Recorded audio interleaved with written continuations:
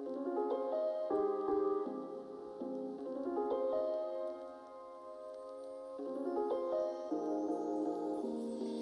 ben, bonjour à tous, bonjour Cécile. Bonjour.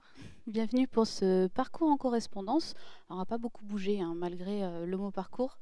Euh, Peut-être que pour commencer, je nous présente donc Cécile Beck, euh, illustratrice de la bande dessinée Ama, Le souffle des femmes, que je vais essayer de vous montrer avec une main sans faire tomber ce bel ouvrage. Et moi, je suis Louise Josserand et je suis médiatrice au musée de Grenoble. Alors, euh, ce qu'on propose depuis quelques années dans le cadre du printemps du livre, donc il y a les lectures en correspondance qui sont déjà un peu plus connues, et puis depuis quelques années aussi les parcours en correspondance, où là on s'adresse plutôt à des, à des dessinateurs, à des illustrateurs, et où l'idée c'est de non pas montrer une ou deux œuvres du musée, mais plusieurs. Et on en a choisi ensemble, euh, en lien avec, euh, avec Ama, on en a choisi trois, on y reviendra. Peut-être que je vais dire quelques mots euh, sur. euh, je dis Ama, mais en fait, le titre entier, c'est Ama, le souffle des femmes. Pardon, je, vais au raccourci. Donc, c'est euh, sur un scénario de Franck Hopla Manguin et sur des illustrations de Cécile Beck. Et c'est une bande dessinée qui vous emmène euh, au Japon dans les, années, euh, dans les années 60 sur les traces d'une jeune femme qui s'appelle Nagasi et qui va revenir un petit peu dans ses racines, sur les traces de l'histoire de sa mère et qui est, qui est plutôt une citadine, et qui du coup va euh, découvrir euh, sur cette, euh, cette île où elle arrive, qui est la petite île de Egura. Tu me corriges sur les prononciations japonaises, hein, si jamais je dis n'importe quoi. C'est Nagisa en fait, c'est pas C'est- Nag. Je je dis comment Nagasi Ah, j'ai Nagasi. inversé. Bon, c'est Nag- pas très grave. Donc c'est Nagisa. Nagisa. Bah si, c'est grave, j'ai changé le prénom de l'héroïne quand même. et sa tante, c'est Isoé, ça c'est bon. Nickel. Donc Isoé qui fait partie euh, des, euh, des hamas en fait, qui sont les pêcheuses euh, traditionnelles euh, femmes qui pêchent euh, sans équipement ou presque, et qui pêchent euh, chercher des coquillages euh, dans la mer du Japon. Donc je sais pas si tu veux rajouter quelque chose sur euh, peut-être sur la BD, sur le, le synopsis. Alors j'essaie de pas trop en dire parce que le but c'est que les gens la lisent. Non, le synopsis, c'est bien justement ce que tu as fait, c'est parfait.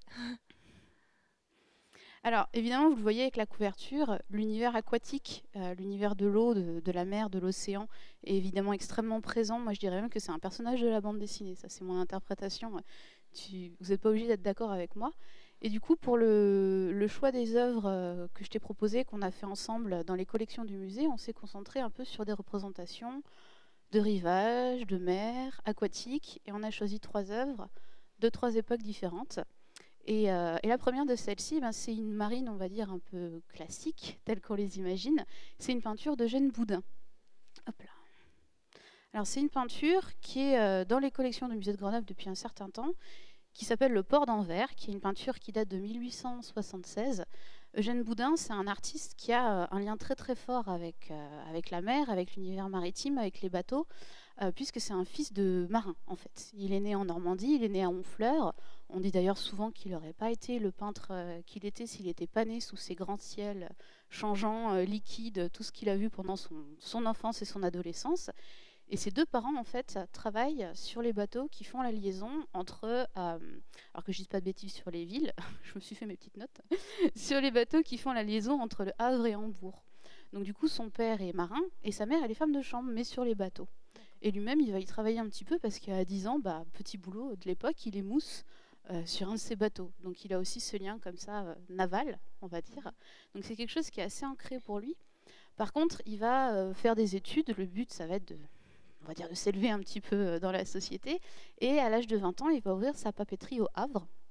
Et grâce à cette papeterie, en fait, il va rencontrer des artistes. Il va lui-même se mettre au dessin, alors en autodidacte total au départ. Il n'a pas fait les beaux-arts, il n'a pas fait d'études encore, il n'a pas eu de cours de dessin avec un professeur, mais les, artistes qui fréquentent sa papeterie euh, vont l'encourager euh, et vont lui dire bah, de, poursuivre dans cette voie, si bien qu'il va vraiment se mettre à la peinture. Et à 22 ans, il décide de quitter sa papeterie et il va être boursier euh, grâce à la ville du Havre, qui va d'ailleurs remercier toute sa vie pour ça, et il va aller étudier aux Beaux-Arts de Paris. Et là, alors, il va étudier les grands maîtres, c'est-à-dire qu'il va faire des copies de maîtres des Pays-Bas, des maîtres flamands. Il va aussi rencontrer d'autres artistes, donc il va se lier avec Courbet, quand même, par exemple, euh, avec Baudelaire. Il va rencontrer le peintre euh, John King, qui est aussi un, grand peintre d'extérieur et, d'eau. D'ailleurs, c'est aussi un univers qu'il a beaucoup exploré. Et petit à petit, il va se, se construire une petite renommée. C'est pas un artiste qui va, euh, on va dire, exploser tout de suite. Par contre, il va avoir vraiment un impact sur la, on va dire, la génération qui le suit, puisqu'on le considère comme un précurseur de l'impressionnisme. C'est lui, par exemple, qui va initier un certain Claude Monet à la peinture de plein air, quand même. Ah oui, quand même. Quand même. Et d'ailleurs, Monet lui, lui rendra hommage, c'est-à-dire qu'il ne cesse de dire, Monet, qu'il a eu euh, vraiment euh, euh, Eugène Boudin à remercier parce que c'est sans lui, il n'aurait pas été peintre. Alors, c'est vrai que Eugène Boudin, il peint l'extérieur, il peint beaucoup les plages, il peint beaucoup la, la mer. Euh, il va s'intéresser aux hommes, c'est-à-dire qu'il ne peint pas que l'univers euh, naturel. On va voir euh, des marins, des pêcheurs. Quand on va avoir la notion de vacances en bord de mer, on va dire de vacances un peu thermales pour la bourgeoisie qui va apparaître, eh bien, il va penser voir un filon, il va se mettre à peindre la bourgeoisie sur les plages. Sauf qu'il la peint à sa manière, c'est-à-dire avec des petites touches colorées, pas beaucoup de détails. On ne reconnaît pas ces messieurs-dames, on ne reconnaît pas non plus les détails des toilettes. Lui pense qu'il va faire un carton, qu'il va vendre ça parce que euh, Madame Truc va vouloir avoir la peinture où elle apparaît. Sauf que les gens, s'ils se reconnaissent pas, et si on ne reconnaît pas la griffe du couturier qui a fait leurs vêtements, ça les intéresse pas. Donc finalement, ça va pas euh, décoller comme ils le pensaient. Souvent, pourtant, c'est cette partie du travail de d'Eugène Boudin qu'on connaît, puisque ces petites peintures assez charmantes finalement, c'est les plus célèbres. C'est pas le cas de celles qu'on a euh, au musée, donc vous avez euh, dû voir un petit peu défiler sur vos écrans, même si moi je regarde pas du tout, puisque c'est vraiment le port qu'on voit, le port d'Anvers, où on a l'activité plutôt euh, maritime traditionnelle. On voit ces grands bateaux qui sont brossés assez rapidement. En fait, il n'y a pas beaucoup de détails. Il arrive à faire apparaître les mâts et les voilages, mais seulement avec quelques coups de pinceau. On a le ciel qui prend aussi énormément de place dans cette peinture. Et on a la composition qui est très solide, puisqu'on a cette ligne d'horizon, comme ça, qui vient euh, découper, aplatir euh, le, euh, le tableau presque. Alors, il a beau être précurseur de l'impressionnisme, quand on regarde les couleurs d'Eugène Boudin, c'est les couleurs réelles. Il va pas tricher, alors c'est pas joli de dire tricher, mais il va vraiment utiliser les couleurs qui- qu'il voit, qui sont là. C'est ce qu'on appelle un, adepte du gris, en fait, puisque les couleurs qu'on a dans ce tableau, par exemple, eh ben, c'est plutôt un ciel d'orage. On ne sait pas bien si la pluie elle vient de se terminer ou si elle est sur le point d'arriver. En tout cas, il fait pas très beau. hein. C'est pas un, grand ciel bleu. La mer, elle n'est pas turquoise non plus. Elle est plutôt, bah, on la elle est plutôt vert gris. Euh, on a quand même des trouées bleues dans le ciel. Et puis voilà, on a cette super belle euh, flaque euh, de lumière sur, sur la surface de l'eau qui vient éclairer comme ça le tableau. Et c'est vrai qu'on voit même l'activité humaine. On voit les hommes à bord des chaloupes. euh, on voit aussi euh, quelques drapeaux hein, euh, sur, le, haut des bateaux qui nous marquent qu'on est là dans un port qui est un port plein d'activités. On a un estuaire où on va avoir du coup une grosse activité marchande et puis des bateaux qui viennent de loin, qui passent et qui repassent. Et il y a la touche qu'on voit joliment là d'ailleurs, on voit un drapeau. On a la touche de Boudin qui est très belle et on voit en quoi il, laisse sa marque sur l'impressionnisme puisqu'on a cette touche très diluée dans le ciel et puis après on va avoir la touche dans l'eau qui est un petit peu plus empâtée, qui est plus horizontale et qui vient marquer vraiment la différence entre l'univers euh, du ciel, l'univers liquide. Euh, D'ailleurs, il, va être surnommé par Apollinaire, il va être nommé euh, le roi des ciels, ce qui est, quand même pas mal. Euh, je dis Apollinaire, excusez-moi par Baudelaire, je me suis trompée de. Moi, je me trompe toujours entre les deux. ça, ça rime, c'est pour ça. Hop là. Alors, c'est un tableau qu'on a choisi évidemment pour son, son lien avec l'eau et puis aussi bah, parce que euh, dans, dans la bande dessinée, dans Hama, ça se passe sur une île, mais du coup, le, le transport par bateau et puis l'activité de ce plus petit euh, port, forcément beaucoup plus petit, est très importante. La vie des personnes tourne vraiment autour de l'eau, de la pêche, euh, des bateaux aussi qui rythment la vie, euh, les allées et les venues. Oui, euh, c'est effectivement c'est euh, c'est une île qui vit euh, de l'activité de la pêche. Donc l'activité de ces femmes, en fait, c'est elles qui font tourner euh, l'île et euh, le village. Euh, c'est là qu'elles se sont installées. Donc c'est c'est une communauté euh, matriarcale. Donc euh, c'est euh, elles exercent, euh, elles exercent euh, ce métier qui est un métier ancestral euh, qui existe depuis des centaines d'années et qui, euh, par la tradition, euh, euh, est exercé exclusivement par des femmes. Et donc c'est elles qui vont, euh, pêcher euh, les, les coquillages. Elles sont connues par euh, la plupart des gens comme étant des pêcheuses de perles, mais en fait, euh, à la base, euh, c'est vraiment elles pêchent pour euh, leur survie, pour euh, ce qu'elles pêchent, c'est euh, ce qui les nourrit en fait. Et euh, principalement, euh, mot qui est le Graal, c'est un peu le roi des coquillages. C'est celui dont on parle dans la bande dessinée. Et euh, effectivement, c'est, on, voit que toute l'activité de Egura tourne autour de, ces ormeaux, de, des algues aussi qu'elles ramassent, qu'elles font sécher, qu'elles revendent. Voilà, tout, est tourné autour de la mer en fait. c'est l'activité, il n'y a, a, quasiment rien d'autre.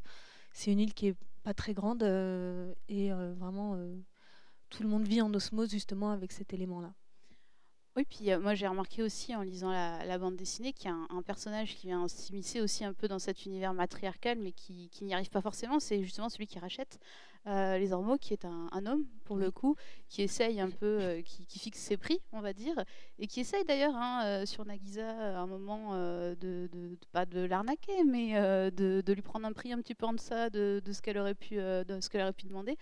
Alors il a son importance, mais ça marche pas forcément. Euh, elles savent le prendre aussi, euh, ces, amas. Elles savent comment faire avec lui. elles savent. En, fait, de toute manière, les amas, c'est des, femmes. Elles sont assez. Elles ont un franc parler. On s'en rend compte assez rapidement dans la bande dessinée parce que Nagisa arrive au, beau milieu d'une dispute et on voit que ben il y a certains mots qui sont lâchés quand même et euh, on se dit ah oui c'est pas comme ça que je voyais les femmes japonaises dans les années 60 mais effectivement elles, elles détonnent et on sent qu'elles défendent un peu euh, leurs affaires et, euh, qu'elles ont, euh, elles ont raison parce qu'effectivement, Yusuke, donc le revendeur dont tu parles, essaye effectivement de les arnaquer. et on, voit que malgré le fait que ce soit une communauté matriarcale, on voit quand même que c'est inséré dans un Japon qui lui est profondément patriarcal et qu'il y a un rapport homme-femme qui est toujours pas apaisé malgré, malgré tout. Quoi. Hmm. Alors, juste pour conclure sur, euh, sur Eugène Boudin, parce que la fin est un peu boucle, on va dire. Euh, il est mort en 1898 et euh, il meurt en fait quand il sent que, que, c'est la fin, que commence à, son corps commence à le lâcher, on va dire, qu'il arrive au bout de son histoire. Il demande à être déplacé pour pouvoir mourir face à la mer. Donc ça montre aussi à quel point cet univers a une présence du début à la fin euh, dans sa vie. Je ne vais pas du tout spoiler, euh, pardon, la bande dessinée, mais il y, a une boucle aussi dans la bande dessinée que je trouve belle. Euh, donc je, je laisse, sais pour appâter un peu les lecteurs et les lectrices, comme ça ils iront, ils iront voir eux-mêmes cette boucle-là. Alors, hop, je surveille un petit peu l'heure. le tableau suivant nous fait avancer dans le temps, puisque c'est un tableau qui nous emmène au début du XXe siècle. On était plutôt euh, dans, le deuxième, dans le dernier quart, à la fin du 19e siècle, c'est vrai que je pas forcément donner la date du port d'Anvers, si, je l'ai dit, je crois, 1876. Le tableau suivant, on va changer radicalement de couleur, euh, de cadrage, euh, et puis aussi un peu de sujet, puisqu'il s'appelle la baigneuse. Donc là, on a la figure féminine qui prend, si ce n'est toute la place, en tout cas énormément de place pour le coup dans le tableau. Et puis on change de rivage aussi, hein. on peut le deviner quand on regarde l'œuvre on n'est plus euh, à Anvers, là on est plutôt dans le sud, on est à 40 km de Saint-Tropez, on est à Cavalière, dans l'anse de la Cavalière. Et c'est un artiste qui s'appelle Manguin qui fait ce tableau, qui fait partie du groupe des Fauves. Alors les Fauves, c'est un groupe qui, qui naît, entre guillemets, euh, en 1905. Alors qui naît pas réellement, parce que si vous voulez, ce sont des ce sont des peintres qui ont en commun une utilisation particulière de la couleur, vouloir justement euh, avoir des couleurs qui tranchent, se libérer de la représentation extrêmement réaliste du monde. Euh, mais ils ne se considèrent pas forcément comme un groupe, euh, comme des avant-gardes. Par contre, ils vont avoir en commun généralement d'être de la même génération, d'avoir étudié ensemble et d'utiliser ces couleurs très, très pures en fait. Ce qui se passe, c'est qu'ils vont présenter plusieurs de leurs toiles ensemble dans la même pièce du salon en 1905, le salon de peinture, et que là, un critique va parler de cage aux fauves, parce qu'il se sent euh, agressé par toutes ces couleurs, et là, le fauvisme est né. Donc en fait, c'est un bon mot euh, d'auteur, finalement. Ça va coller comme ça à la, peau de ces peintres. Et parmi eux, vous avez Manguin, qui n'est pas le plus connu. Hein. Euh, généralement, on pense plutôt à Matisse, notamment. parmi les fauves, il va avoir une reconnaissance assez tardive, Manguin, parce qu'en fait, il va être assez peu présent dans les collections publiques euh, françaises. On a la chance d'avoir ce, cet assez grand tableau, d'ailleurs, il est assez imposant hein, quand on le voit en vrai dans les salles. sans dire qu'il nous saute au visage, en tout cas, on a du mal à passer à côté sans le voir. Parce qu'en fait, il fait partie du, Leg Agut Samba, donc cette collection privée, personnelle de Georgette Agut et de Marcel Samba, qui, a été, euh, qui est venue au musée de Grenoble après, euh, après la mort de ce couple. Donc c'est pour ça qu'on a la chance d'avoir ce grand et beau tableau. Et Manguin, on l'appelle souvent le, fauve modéré, parce que ses couleurs, elles sont un peu moins violentes euh, que certaines de ses collègues euh, à la même époque. Euh, vous voyez que là, on est plutôt dans les tons de rose, d'orange. C'est un petit peu plus tendre, un petit peu plus doux. Et lui, justement, son surnom, ça va être le peintre des voluptés ou le peintre voluptueux. Et c'est vrai qu'on le comprend quand on voit cette figure assez monumentale de femme, cette baigneuse, euh, les jambes croisées, assise sur son rocher, les pieds dans l'eau, avec son chignon, avec son corps assez, assez massif qui n'est pas vraiment réaliste. En fait, là, Manguin, il va s'affranchir de la réalité, des limites physiques. Il la rend très tangible, cette femme. Le modèle, c'est son épouse, Jeanne, qui est d'ailleurs quasiment son seul modèle toute sa vie, à de très rares exceptions près. Il peint ses enfants, il peint son épouse. Sauf que Jeanne, on a une photo d'elle de la même année, hein, 1906. Elle faisait pas ce gabarit-là. C'était une femme plutôt fine, en fait. Donc du coup, on voit vraiment que là, l'artiste, il, il triche entre guillemets, mais pour avoir le ce résultat un peu de, naïade euh, fantastique, euh, euh, presque presque Rubens qu'on a qu'on a dans ce tableau. Et puis on a la présence de l'eau, du ciel et des rochers. Et on voit les couleurs qu'il utilise. On voit ce rocher là justement qu'on a sous les yeux. Il y a du rose, il y a du jaune, il y a du bleu. Euh, c'est pas forcément ce qu'on ferait naturellement si on nous demandait de faire un rocher. Si on regarde aussi, on voit l'anse du coup de cavalière qui se déploie autour d'elle. On a cette couleur de la mer ce bleu euh, presque indigo extrêmement profond. Et puis sur le visage de Jeanne, eh vous avez le vert qui est là et qui va venir souligner le rose, qui va faire ressortir sa carnation, qui va créer les ombres. Alors c'était un reproche qu'on faisait au Fauve d'ailleurs. Pourquoi est-ce qu'ils mettaient du vert sur le visage des femmes? Est-ce qu'elles étaient malades? Est-ce qu'elles étaient mortes? Euh, Ça nous fait rire aujourd'hui, mais c'est vrai que les gens étaient, il faut se dire, pas du tout, le public n'était pas du tout habitué à ça. Mais on voit cette harmonie des couleurs, du coup, euh, elle est voluptueuse sans être trop érotique, cette baigneuse, son corps, il est quand même là, il est quand même très très euh, présent. Et c'est vrai que c'est quelque chose qui est assez, euh, je fais le lien avec Amala parce que c'est quelque chose qui est assez frappant, ça se voit dès la couverture d'ailleurs, moi je trouve, c'est que les, les, amas, en tout cas les femmes, euh, les personnages principaux et notamment l'héroïne, sont très souvent dévêtus ou presque, puis il y a quand même ce petit pagne, je sais pas comment on l'appelle exactement, oui, c'est un, maillot. Un, string.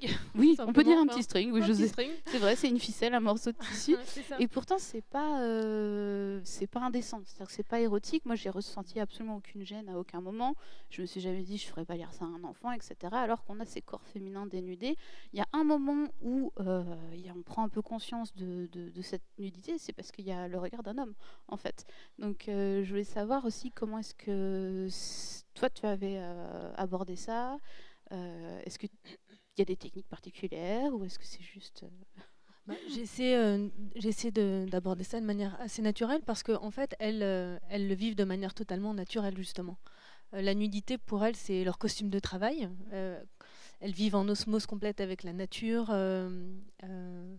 le froid, enfin, elles ont refusé jusqu'à la fin des années 60 les combinaisons de plongée justement pour ressentir ce froid et et euh, être en accord avec euh, la limite de ce que leur corps permettait. Euh, pareil, elles refusent de prendre les bouteilles de plongée, donc elles sont vraiment en osmose avec la nature et la, la, nudité fait partie de ça.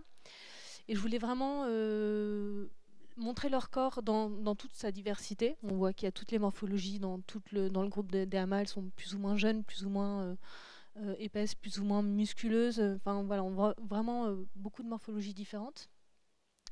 Et je voulais surtout euh, montrer, enfin, il y avait un petit défi, c'était d'arriver à les montrer nus tout le temps sans pour autant les érotiser. Euh, je, fais le parallèle avec euh, deux livres que Franck m'avait prêtés, qui sont des livres de photos des années 60. Il y en a un qui est fait par, c'est des photos d'un photographe italien, Fosco Marini, qui lui a fait des photos de Hama en train de pêcher. On sent vraiment qu'il y a un regard très neutre, très naturel. On les voit vraiment dans l'action. Et puis un autre, euh, un japonais qui euh, les a fait euh, poser un peu comme des, des naïades dans des poses très glamour. on sent là pour le coup le regard d'un homme. et on voit pin-up, oui. Totalement pin-up. Et on voit effectivement qu'elles elles ont une espèce d'ambivalence. Elles sont, elles sont très respectées au Japon, mais on voit aussi qu'elles sont un objet de fantasme de la part des Japonais, des, et que euh, elles, elles, ont euh, nourri euh, l'érotisme japonais depuis des centaines d'années dans des estampes et on voit quand même que elles ont beau être à l'opposé de ce qu'on peut se faire comme idée d'une femme japonaise, c'est-à-dire peau, peau claire, peau claire, voilà, vraiment toutes soumises, effacées, avec le cheveu lisse. Là, elles sont tout l'inverse, elles ont la peau, elles ont le cuir un, peu tanné, elles ont la peau abîmée par le soleil et le sel. elles marchent un peu comme des camionneurs. Enfin, on est loin du glamour des, jeunes femmes japonaises dans les années 60.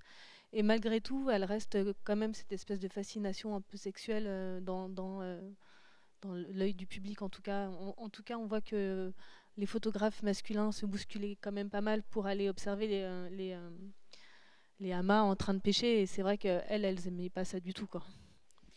Oui, puis forcément, l'héroïne, c'est un corps, euh, jeune, mais on, voit aussi que c'est des femmes de tous âges. Euh, dans la bande dessinée, il y a, des, y a des, même des vieilles dames, en fait. Euh, bah, de fait, bah, parce fait, c'est une, une, profession qui est sur le déclin, qui n'est pas du tout renouvelée. Donc, effectivement, la moyenne d'âge ben, augmente au fur et à mesure des années. Et elles étaient à peu près 20 000 dans les années 60, il en reste plus que 2000. La moyenne d'âge maintenant, c'est 70 ans. Donc, effectivement, c'est, on n'est plus du tout sur euh, les mêmes amas, c'est plus du tout la même génération. Et là, maintenant, effectivement, c'est des mamies, euh, c'est des mamies qui plongent, quoi. Et peut-être que dans 15 ans, il n'y en aura presque plus, ou quasiment plus, on ne sait pas. en tout cas, je voulais redire bravo pour cette représentation euh, du, corps féminin, parce que c'est pas évident, finalement, je trouve, de ne pas le forcément, hein, de, de, le montrer sans le cacher, mais sans que ça devienne quelque chose qu'on a envie de cacher. Euh, peut-être juste pour euh, conclure aussi sur, euh, sur Manguin, juste pour le dire, parce que j'ai trouvé ça amusant quand j'ai trouvé cette information, quand il arrive à Cavalière, qui va y passer cet été en 1906, au début il est déçu, il râle, parce qu'il a passé deux étés à Saint-Tropez auparavant, il a adoré. Et là, il change, il, il se déplace un petit peu euh, plus, plus, loin, 40 km. Il va à Cavalière parce que Henri Edmond Cross, qui est un collègue artiste, qui est plutôt dans le pointillisme, est pas loin. Ça va leur permettre de travailler ensemble. Et il râle parce qu'il n'y a que des pins. Euh, mais quand on regarde ce tableau, on voit qu'il a quand même réussi à trouver euh, des plages et qu'il a quand même réussi à trouver un joli écrin, un joli point de vue euh, pour représenter Jeanne, qui de façon amusante a un chignon, qui est quelque chose qu'on retrouve beaucoup aussi dans la, bande dessinée, une manière de relever ses cheveux à la japonaise. Et c'est la même chose, je trouve. On peut, on peut ne pas être d'accord, mais pour Manguin, puisqu'on a un corps féminin qui est montré, mais qui n'est pas érotisé non plus. C'est-à-dire qu'il est voluptueux quand même, on ne peut pas le nier, mais il n'y a rien d'indécent. Et quand il peint Jeanne, c'est toujours comme ça. C'est-à-dire qu'il ne cache pas particulièrement son corps, mais il n'y a pas d'indécence. Par exemple, quand il va la peindre enceinte, par une espèce de pudeur intéressante, il la peint de dos. On pourrait croire qu'elle est enceinte, là, ce n'est pas le cas.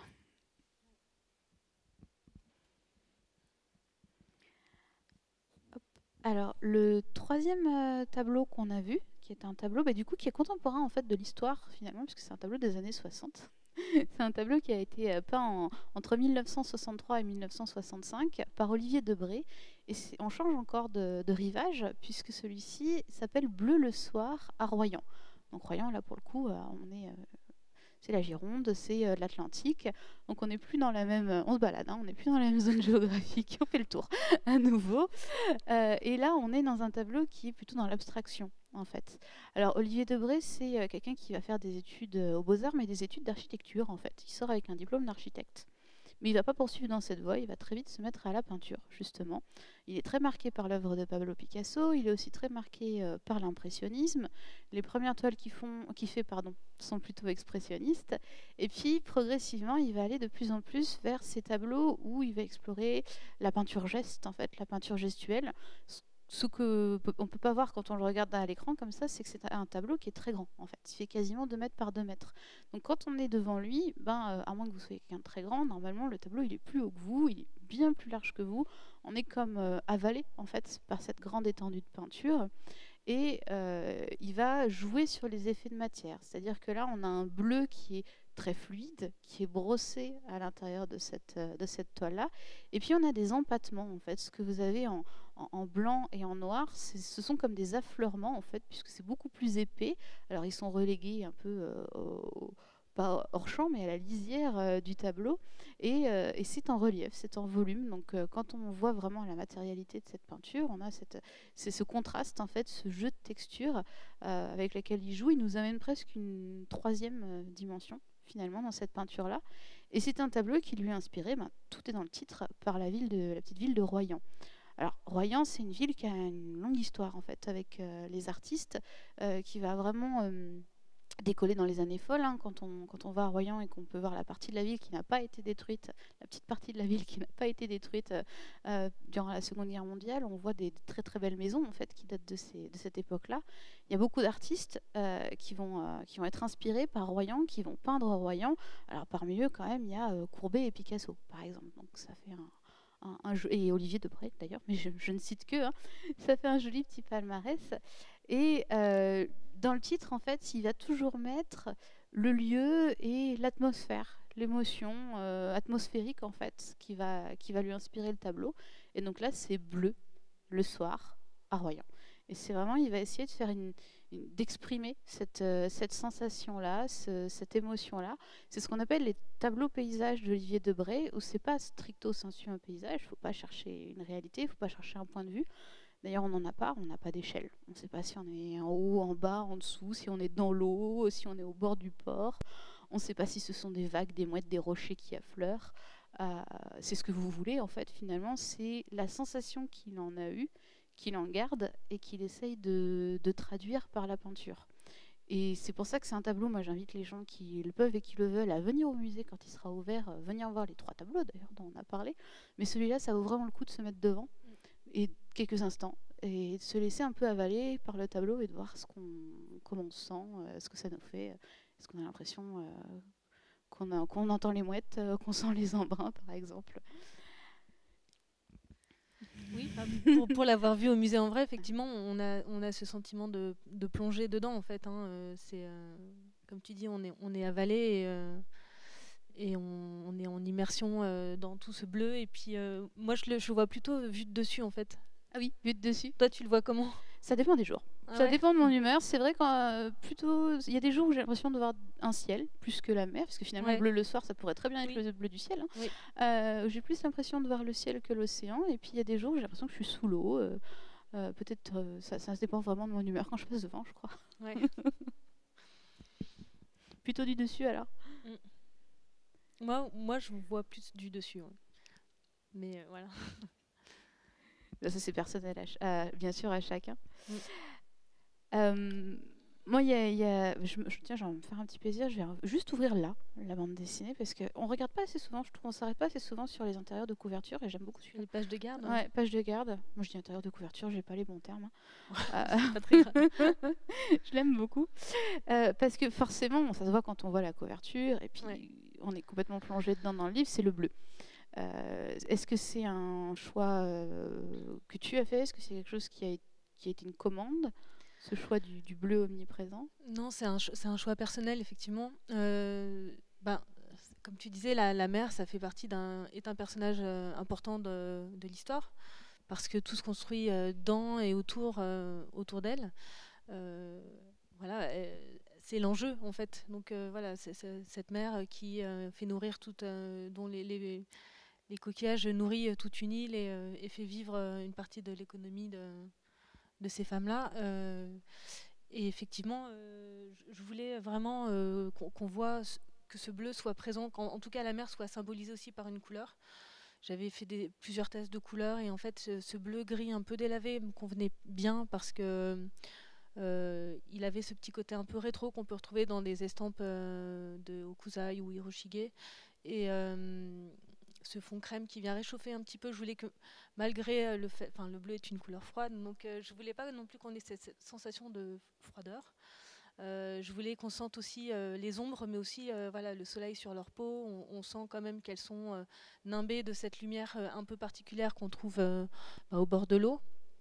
Et voilà, donc c'était important pour moi justement cette couverture. Je voulais qu'on rentre assez vite assez vite dans le vif du sujet. voilà, je, voyais tout de suite euh, euh, sous l'eau euh, la couverture et puis la page de garde également. Je voulais la montrer justement dans ce. Dans, qui a un côté un peu inutero, tu vois, où on voit un peu la corde qui la retient à la, barque, qui puisse faire penser un peu à un, cordon ombilical, et puis qu'elle, elle est à la fois une, une position très gracieuse, en fait, comme on peut avoir les corps euh, quand ils sont immergés, euh, des mouvements fluides et amples, comme on, comme on, peut voir dans les, euh, dans les ballets aquatiques, et, et à la fois qu'elle ait cette, cette, attitude un peu guerrière, un petit peu alerte, très concentrée. on sente que voilà, c'est un métier qui est dangereux, qui, qui, fait des accidents chaque année, que voilà, c'est elle plonge jusqu'à plusieurs mètres, voire dizaines de mètres sous l'eau, et que c'est un métier difficile. Elle plonge 4 heures par jour. Elles sont vraiment dans l'eau tout le temps. Et euh, voilà, donc euh, montrer quand même cette présence de la mer. Il euh, n'y a pas tant de planches que ça qui se passent sous l'eau dans la bande dessinée, mais je voulais, comme ce bleu-là, on sent qu'elle est là, qu'il y a une espèce de présence. Et puis, je le trouve qu'il est assez apaisant, l'air de rien. Il est assez. Il donne le fait qu'il n'y ait pas 12 000 couleurs dans, tous les sens, ça permet aussi de se concentrer un peu sur la psychologie des personnages et sur euh, justement euh, ce qu'elles ressentent. On voit aussi qu'il y a des secrets de famille et qu'il y a des jeux, euh, des relations intergénérationnelles et entre femmes qui se nouent et qui se dénouent et des enjeux un peu psychologiques dans ce scénario. Et je trouvais que c'était plus mis en valeur avec peu de couleurs en fin de compte. Et justement, le, choix de ce bleu, il est venu euh, au début ou à la fin, pendant? Ça, arrivé à quel moment le, choix de la couleur? Parce que je sais que tu travailles euh, de façon euh, numérique, digitale. Oui, numérique. Numérique Oui. c'est arrivé assez vite en fait au, tout début parce que j'avais fait un ou deux essais de planche pour mon, pour mon éditeur pour voir un petit peu comment je voyais le projet, les dessins. Et puis en fait, cette couleur est, venue assez rapidement. Moi, quand je travaille en numérique, j'ai tendance à rester sur une gamme pas trop large. Et euh, enfin, pour la couleur, je veux dire, euh, en comparaison de quand je travaille à la peinture où je me disperse un peu, je me laisse un peu envahir par la matière et euh, le plaisir de, rajouter de la couleur et plus encore. Hein. Là, en numérique, je me concentre plus sur le trait, sur le dessin. Et en fin de compte, la couleur vient se juxtaposer, mais presque pour révéler euh, le trait que pour euh, rajouter vraiment euh, une information peut-être qui viendrait brouiller le message. Et j'avais essayé donc ce bleu-là, c'était la toute première couleur que j'ai testée. J'en ai testé d'autres et en fin de compte, je suis revenue à celle-ci qui, ben, c'était peut-être, comme c'était la première, peut-être que instinctivement, j'avais, j'avais, c'est comme ça que je le sentais bien en fait. Et c'était un coup gagnant dès le début. Voilà, ça n'arrive pas toujours. Hein. Bah, justement, je, j'en profite puisqu'on parle. On parle, tu, as mentionné toi-même que tu fais de la peinture. Euh, je, l'ai vu en regardant un peu, je suis voir, j'ai un peu espionné, je suis allée chercher euh, sur les réseaux, etc. Euh, comment est-ce que le, choix du médium pour la BD a été fait? C'est-à-dire, du coup, c'est numérique. Est-ce que ça aurait pu être autre chose? Ou est-ce que c'était une évidence dès le début que ce serait un dessin numérique? J'ai pas hésité longtemps en fait. Je pense que euh, moi c'est ma première BD et euh, partir sur du papier, je pense que ça avait un côté un peu effrayant. Il y a un côté un peu irréversible du dessin qu'on rate et qu'il faut recommencer entièrement. Euh, il y a quand même une centaine de planches et puis je suis assez à, l'aise avec l'outil numérique. Moi je vois pas du tout ça comme un sous-matériau. Il y a beaucoup de gens qui disent non mais les originaux, la peinture c'est bien mieux. Je vois pas ça comme ça. Je trouve que en fin de compte, en fonction du projet, il y a, y a certains certains médiums qui conviennent mieux que d'autres et euh, j'adapte toujours euh, mon médium en fonction du projet, que ce soit de la presse ou euh, un, livre jeunesse ou là une bande dessinée. J'ai vu aussi le côté, la facilité pour retravailler ce storyboard, de pouvoir à loisir zoomer, dézoomer, déplacer les éléments pour composer mes planches. Pour moi, c'était beaucoup plus simple de faire ça à l'ordinateur. Donc ça s'est assez imposé rapidement comme une évidence. Après, il y a aussi le côté du fait que moi j'avais vraiment envie de travailler sur ce trait, cette ligne claire, et euh, c'est quelque chose euh, avec laquelle je ne suis pas du tout à l'aise à, l'ancrage. En vrai, avec de l'encre et une plume, euh, je me sens beaucoup plus à l'aise justement en numérique pour, pour ce, dessin-là en tout cas. Donc peut-être un jour je ferai une bande dessinée en traditionnel, mais pour l'instant la deuxième elle, elle, est en numérique aussi et ça me convient très bien. D'accord. Et Puisqu'on a choisi de parler aussi des, œuvres euh, en lien avec la mer, du lien de ces différents artistes avec la mer, que ce soit euh, de naissance avec Eugène Boudin qui finalement s'éloignera jamais vraiment de l'eau malgré tous ses voyages, il va toujours se retrouver euh, en Bordeaux, en bord de mer, dans un port. que ce soit Manguin qui, comme beaucoup d'artistes, fait régulièrement le voyage dans le sud pour aller au bord de la mer. Olivier Debray, ben, plus proche de nous dans le temps, mais très attaché aussi au paysage maritime. Est-ce que toi, tu as un lien particulier avec les rivages, avec l'eau, avec la mer ou avec l'océan? Moi, je suis née au bord de la mer. Hein. Je suis de Saint-Raphaël, donc sur la côte d'Azur. Euh, ça fait, moi j'ai évidemment un lien très fort avec la mer. Peu importe le rivage d'ailleurs, je peux me sentir aussi bien sur une plage bretonne euh, que sur euh, une île en Écosse ou sur les rivages de la Côte d'Azur. Moi j'ai besoin de voir la mer, l'océan, peu importe, mais j'ai besoin de sentir ce contact-là. En étant à Grenoble depuis 15 ans, j'avoue que ça me manque un peu quand même. J'y reviens régulièrement. Bien la mer, oui. voilà, parce que ma mère y habite encore, mais euh, effectivement, euh, le, fait que ce scénario se passe au bord de l'eau, c'est évidemment un truc que j'avais très envie de dessiner et c'est ce qui m'a fait principalement euh, accepter ce projet, en plus du fait que ça se passe au Japon et que c'est un pays que je trouve fascinant, qui m'intéresse beaucoup, que j'ai visité aussi il y a une quinzaine d'années.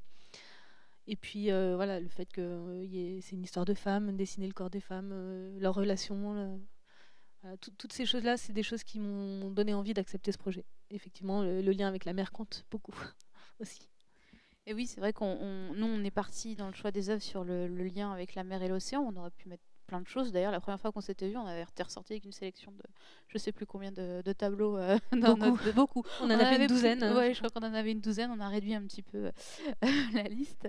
Euh, on aurait pu parler de, l'influence aussi du, du, Japon, que ce soit en tant que culture ou euh, dans son, dans son univers visuel aussi, dans ses productions artistiques euh, sur les artistes, puisque le, les artistes découvrent l'Europe de manière générale, en fait, euh, découvrent cet univers-là au courant du 19e siècle. Il va ce qu'on va appeler le japonisme, où l'art de l'ukiyo-e, les estampes, va énormément inspirer les artistes à la fois attiré par l'exotisme, bien sûr, mais aussi par une manière complètement différente de représenter le monde, ce qu'on va appeler le monde flottant euh, des estampes. Et je trouve que ça, ça marche bien d'ailleurs, le monde flottant avec la couverture.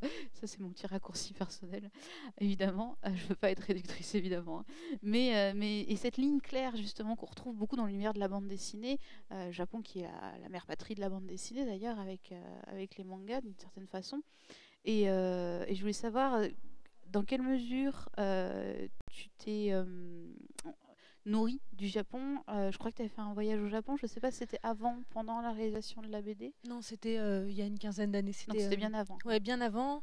Je connaissais pas les hamas malgré tout. Donc c'est vrai que quand j'ai, on m'a envoyé le scénario, j'ai découvert ce point de la culture nippone que je connaissais pas, alors que j'ai une, bibliothèque plutôt bien garnie sur le Japon. C'est vraiment un pays qui m'intéresse énormément et que j'ai visité donc euh, pendant une quinzaine de jours pour des vacances. Mais euh, je lis euh, beaucoup de mangas aussi. Je voilà, j'ai l'impression que la culture japonaise de toute manière c'est quelque chose qui commence à on en entend parler tout le temps parce qu'elle est assez fascinante euh, mais elle a beaucoup de codes, elle est très, euh, très codifiée, et elle a quelque chose que, que, je trouve assez fascinant, cette espèce de contraste entre la modernité euh, et les traditions, justement, quelque chose qui est une espèce d'ambivalence qui est omniprésente dans la société japonaise.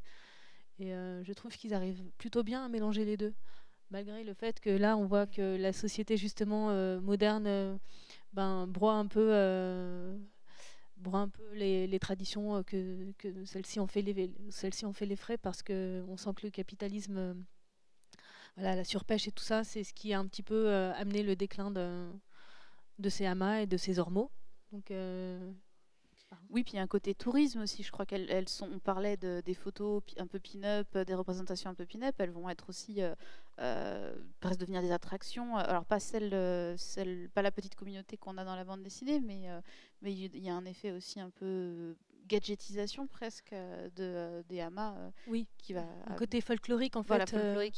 effectivement, on voit que ben, à la fin, quand elle devient amas de présentation pour le musée de la Perle à Mier, on, voit effectivement que c'est ce côté folklorique qui est exploité. et du coup, c'est un peu dommage parce qu'on en a, ça nous ça donne une fausse idée de ce que sont les hamas. même les hamas, quand elles voient ça à la fin, quand elle voit, c'est un peu, c'est un peu comme une trahison pour elle en fait. Effectivement, euh, de montrer les amas, de pêcher des coquillages en plastique au fond d'un aquarium, ça a quelque chose de, voilà, c'est juste là. Ça a quelque chose de d'un peu pathétique en fait, mais euh, effectivement après c'est euh, ça permet aussi de faire connaître ce, ce, de la culture, mais ça nécessite du coup de creuser un peu plus loin pour arriver à voir vraiment bah, qui elles sont réellement. Quoi. Et effectivement, le, le, Franck Monguin, donc euh, l'auteur, euh, pas le peintre. oui, c'est vrai, on n'a on a, on a, pas fait exprès. Hein, euh, on n'a pas fait exprès. Franck Manguin, et je ne crois pas non plus qu'il soit de la même famille, on lui demandera, de, de, celui qui a peint la baigneuse, ce n'est pas le même. Oui. Lui, sa femme vient de, sa femme vient de la région d'Ifikawa, d'où viennent un peu les hamas dans, cette bande dessinée. Et c'est aussi pour ça qu'il s'est intéressé à, cette culture quand il s'est rendu compte que ça venait de la, la région de sa femme qui est japonaise. Euh, voilà, il s'est intéressé à, cette communauté et il a voulu, euh, il a voulu en parler et euh, leur rendre hommage. Et bah, ce sera peut-être ma, ma, dernière question d'ailleurs, parce que du coup, on a, et c'est normal, on est là pour ça. On a beaucoup parlé du dessin, on a beaucoup parlé de l'illustration, mais c'est vrai que le, le, texte, en fait, le scénario, il est de, de Franck Manguin. Comment est-ce que c'est venu cette collaboration? Euh, ben, en fait, Franck, au départ, devait faire le livre en entier. Euh, et puis, euh, pour des raisons de travail, il n'a pas pu s'occuper des illustrations. Et donc, l'éditeur a eu mon scénario entre les mains à ce moment-là. Enfin, a eu des images de moi. je voulais faire de la bande dessinée. J'ai envoyé quelques images à, Sarbacane. Et il avait le scénario de Franck entre les mains à ce moment-là. Et du coup, ben, on en a parlé. Puis, il m'a présenté Franck. Et euh, j'ai été intégrée au projet comme ça. Et euh, j'ai travaillé à partir d'un storyboard de Franck que j'ai pu euh, me réapproprier pour me sentir un peu plus dans le projet aussi et me sentir pas juste comme une exécutante, pouvoir apporter aussi un, petit peu ma pierre. Et bah, c'était une collaboration très fructueuse parce qu'on a, beaucoup discuté et c'était très intéressant. Et il m'a beaucoup aidé pour la documentation notamment. Alors un tome de Dama, euh, je pense pas parce que je crois que c'est une histoire bouclée, on est d'accord hein, Oui, on est d'accord. Euh, une, œuvre qui se suffit elle-même. Est-ce qu'il y a, tu parlais d'une deuxième BD, il y a une suite, pas une suite, mais euh, l'aventure bande dessinée continue? Ça continue, oui, avec une autre bande dessinée dont je suis au scénario et au dessin. Euh, qui se passe euh, toujours sur une île. Ça, sera, ça sera, en Écosse cette fois-ci, mais dans les années 30. Et euh, une histoire de femme encore, intimiste. Je crois que c'est quelque chose que j'aime bien faire en fin de compte. Donc voilà. Ben, j'ai hâte de voir ça. J'ai hâte de la lire. ben, merci beaucoup, Cécile. je ne sais pas si tu as encore quelque chose que tu as envie de rajouter sur les œuvres du musée, sur, sur la bande dessinée. Non, non, je crois pas. Merci beaucoup d'être prêté au jeu, euh, d'être venu euh, arpenter le musée avec moi, euh, réfléchir, choisir des, des, œuvres ensemble. C'était un plaisir. Merci. Et, le plaisir était partagé. Et moi, je le dis, j'ai eu la. Alors, elle est sortie l'année dernière, puisque finalement, on devait déjà se voir l'année dernière pour le printemps du livre qui a malheureusement été annulé. Mais j'avais reçu la bande dessinée, même, je crois, avant qu'elle soit tout à fait terminée. en version numérique et je me suis sentie très privilégiée parce que j'ai beaucoup aimé, j'ai beaucoup aimé la découvrir. Merci, ça me touche. Merci beaucoup. C'était un plaisir. Pareil.